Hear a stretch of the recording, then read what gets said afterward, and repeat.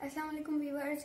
आज हम आपको मम्मा की मिस्टेक्स बताएँगे। हमें कहा जाता है कि बच्चे सारी मिस्टेक्स करते हैं लेकिन आज हम लोग आपको मम्मा की मिस्टेक्स दिखाएँगे बताएँगे चलिए ये है मम्मा की मिस्टेक्स सुबह मम्मा ने सुबह मम्मा को एक चाय बनाने का ही क्या कह दिया? पूरा चूल्हा ही गंदा कर बैठी।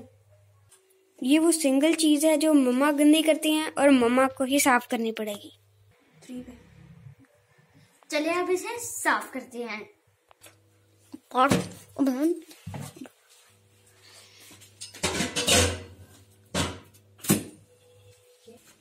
अभी इसमें पानी डाल के इसे साफ़ करना है।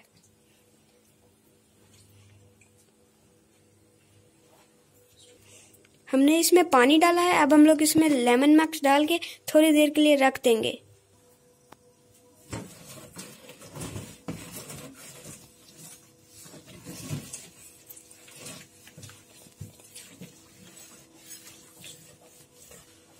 ये हम फाइव मिनट बाद आए हैं।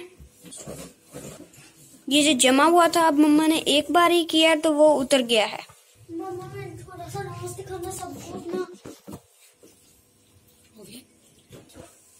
अब इसको पानी वाले कपड़े से साफ़ करना है सारा का सारा सोप।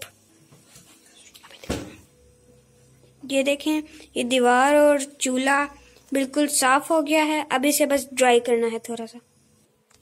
मम्मा आप ड्राई कपड़े से ड्राई कर रही हैं। अब ये चूल्हा साफ़ हो गया और बहुत शाइनी लग रहा है। ये हमारा चूल्हा साफ़ हो गया है। हमने दीवार भी साफ़ कर ली है।